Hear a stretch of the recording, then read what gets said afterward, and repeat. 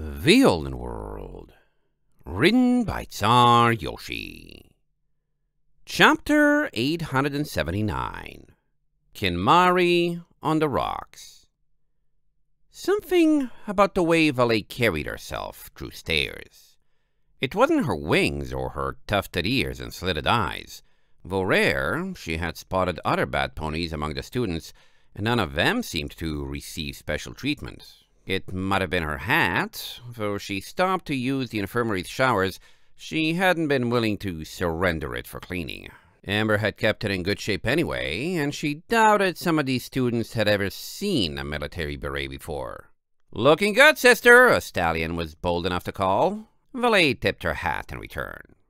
It wasn't the smell of the sea either, though it felt like her coat would be infused with salt forever, the island breeze held nothing but the same, and these students looked like they were better accustomed to the water than she was. And as she came up on a field where two groups of ponies were batting a ball back and forth over a net, jumping around and showing off moves that were pointless and flashy for the sake of being pointless and flashy, she figured her general fitness couldn't be it either, Though she giggled internally at the memory of the infirmary staff clearing her to go, boggled by how much better shape she was in than her friends. It had actually taken some effort to convince them she hadn't been keeping all the best food for herself. But now she was clear to wander, and there was a whole day to make the most of. She sat down beside a field with the players, watching and wondering if she would be noticed. After a stallion leapt high and spiked the ball with his chest, and the two mares that dove to save it crashed into each other, the ball rolled away and the pony seemed to take it as time to break. Hey there, the stallion who had last launched the ball greeted, wiping sweat from his brow and strolling over with a group of friends. Hey, yourself! Valet stood again. The stallion nodded. I see someone looking a little lost, a little confused, and not bothered in the slightest. He flashed a grin that had likely been put together by a professional and offered a meaty hoof. Name's Big Shot. Hoof wrestle me. Valet sized him up. He couldn't have been past his early twenties, but clearly worked out. That's one way to say hello, she replied, offering a hoof of her own. I'm down. One of Big Shot's friends pulled over a crate that had been left by a roadside, offering it as a table. Big Shot nodded, locking hoofs with Valet. Free? Two, one. His muscles tensed with impossible force, and Valet didn't fight it, throwing herself into a sharp flip using his momentum. She landed with her hind legs against the ground and didn't stop, locking the limb he had pinned her with and rolling backwards, lifting him into a mighty suplex. Yeah! Big Shot crashed to the ground a short ways behind her, his friends all jumping back in surprise as Valet landed and adjusted her hat. You all right? she asked, offering a hoof to help him up. The stallion gaped at her, recovering quickly, but not trying to get up. You're insane, he said, eyes shining with unabashed respect. I thought you were some visiting sailor. Sailors are tough, but I've never seen that before. Who are you? One of the mares who had crashed asked, head tilted so far sideways it was nearly vertical. Good question, Valet replied, pleased to have read the situation correctly. I'm new around these parts, you've got that right, but let's say I feel like being mysterious for a while. She winked at the mare. So, what stuff is cool to do around here? I'm looking to enjoy a vacation. Big Shot climbed to his hooves. Not to toot my own horn, but if you can do that, the answer is probably me. Let me reintroduce myself. Big Shot, captain of half the sports teams in the Loyalty House. You want to have fun with skills like that? You just made the right friends, friends. He offered a hoof again, this time to Bump, and Valet took it. Loyalty House? You, aren't you? Big Shot chuckled, catching the ball as one of his friends threw it at him. Kinmari students are divided into five houses, partly by interest and Mostly so we can compete. He raised an eyebrow. Not to guess ages, but you aren't a transfer student, are you? Nah, Valet shrugged. You're not asking me to help your team win or anything, are you? big Shot instantly grinned a slightly too big grin and shook his head, a faint undercurrent of nervousness rippling for his friends. An outsider? Play for house loyalty?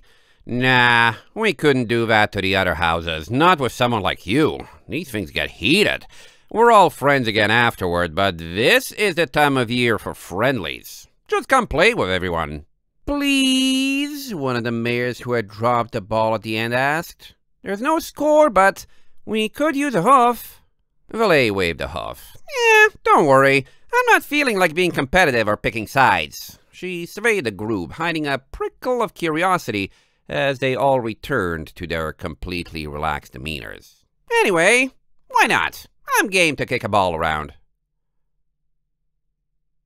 Kicking the ball, it turned out, was extremely similar to Valet's old days of throwing melons at ponies she didn't like in the Earth District.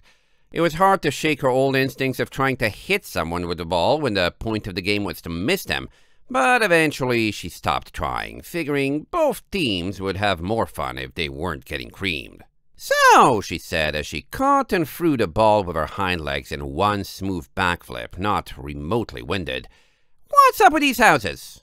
The mare she was playing alongside lunged, catching the returning ball with the back of her head and heaving it over the net, breathing heavy and mane plastered with sweat. How are you? Fit enough to talk while, she panted, the opposite team faring better, but still far worse than Valet. Valet stuck out a hoof, hitting the ball straight up, then did a front flip and kicked it over the net with both hind hoofs. Cause you were playing for however many hours you were before I showed up. I'm fresh. Now don't give up. You got this. The ball went sailing over the mare's head, and she jumped a second too early, missing it with flailing hooves. Oh, uh, Valet winced, the other team celebrating and exchanging hoof bumps. It's fine. I was done anyway. And the mare flopped down in the shade of a tree, panting hard. Good game, especially since we were down. Sorry about that, a stallion apologized, sitting under the tree as well, and nursing a hoof he had stepped wrongly on. I figured you'd be alright without the advantage. Big Shot came strolling over with the other players in tow, throwing a wink to both resting ponies. I think we'll call it there for the day. Showers? Lunch? You're welcome to join us. Oh, me? Valet looked up. Bananas! Lunch sounds excellent. Here, I'll show you the way, the stallion who had hurt his leg volunteered. Unless you want to follow everyone else to the showers. But the dining hall is on the way to the loyalty dorms, and I need to head back to my room and rest. You do that! We'll catch up, Big Shot shouted, heading away with a wave. Valet nodded, setting off after the limping stallion at a leisurely pace. Hmm, she offered a shoulder. You all right there? Oh, it's nothing I haven't dealt with before, he chuckled, happy to walk on his own. The captain will be feeling it in the morning, too, the way you suplexed him back there. But that's part and parcel of playing these games. It's what I signed up for. That's go, Valet agreed. Not entirely sure she felt the same, but glad the ponies were enjoying themselves. You all seem like cool enough dudes. That's house loyalty for you, the stallion replied. Always trying to be the best of the best. I'm Farfield, by the way. Second best sprinter and long distance runner in the house, and I'm only a second year. You mentioned something about the houses? Valet shrugged. Eh, just curious. Like I said, I'm not from around here. What all am I getting myself into? Well, there are five of them, Farfield began. Honesty, generosity, kindness, laughter, and yours truly. The politics are difficult to explain, but outside of sporting events, we tend to get along pretty well. Silvershell, she was a mare on our team, by the way, is from generosity, as were two of the others. Hmm, complicated politics? Valet grinned. Between schoolhouses and sporting events? Compared to the stuff I've seen, I'll believe that when I see it. Try me. Farfield grinned, sighed, and rolled his eyes. Well, you asked for it. Generosity are our allies. We have an alliance that stood for years with them. Honesty are our biggest rivals, but mostly because they have good players. We get along surprisingly well for rivals, but generosity doesn't think much of them. It's part of why they're allied with us. There's kindness. They don't have much of a presence on the field, but they do have the strongest cheerleading and band program. Things have been a little strained between us and them before, but this year's class has gone a long way toward patching it up, so you could call them our second best friends. It's more of a new alliance than a long-standing bond of trust, though. Valet nodded. You're good guys. Generosity are good guys. You fight with honesty, but they're also good guys. And kindness are good guys too. I don't know how to break this to you, buddy, but unless there's some monumental shenanigans going on with the last one, this is so tame it's kind of adorable. Farfield winced. That's one way to smash all the nuance out of it and sum it up, yes. Valet broadly grinned. Hey, what a coincidence! I'm great at smashing things. Now where's the plot twist? There is none, Farfield sighed. We had an incident five years ago that majorly soured things between us and laughter. I couldn't tell you all that much about it, but it's why kindness was on rocky terms with us, and... eh, never mind. Why don't you just hang out with the other four houses for a while, though? Given your affiliations, there's no need to put stress on old wounds.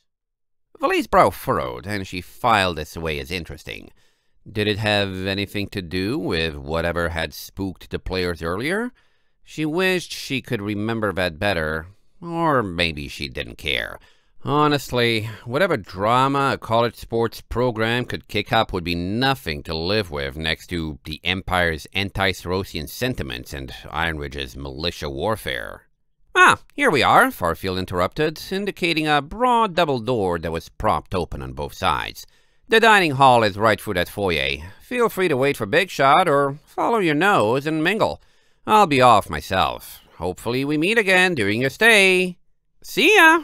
Valet threw him a salute, then wandered inside and sat about, lounging against a wall.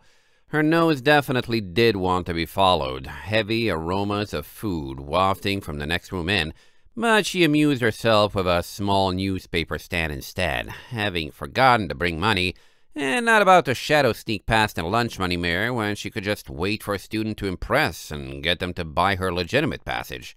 Hopefully that would come soon. As welcoming as Big Shot and his friends had been, there had to be more to this school than sports. Maybe someone who looked like an egghead? Valet? A familiar, drawn-out voice gasped. Beh? Valet sat up, her eyes registering the yellow ribbon before the rest of the pony. It was Flo. The unicorn immediately clutched her head, her eyes focusing in impending panic. Uh, are you out here alone? Please don't tell me Eb was being a bad host. I promise he's just excited. I can fix this. You can fix this, Flo. Your guest is panicking. Nope. Valet slapped a wing over her back, shocking her out of her reverie. Beats me where he is, but I've been wandering around and exploring and having a blast. Hey, you wanna treat me to lunch? Flo sagged in incredible relief, and Valet let her go. Sorry, I mean, sure, lunch. Within seconds, she had gone from a near meltdown to a confident can-do grin. I will show you the dining hall. After me! End of chapter 879.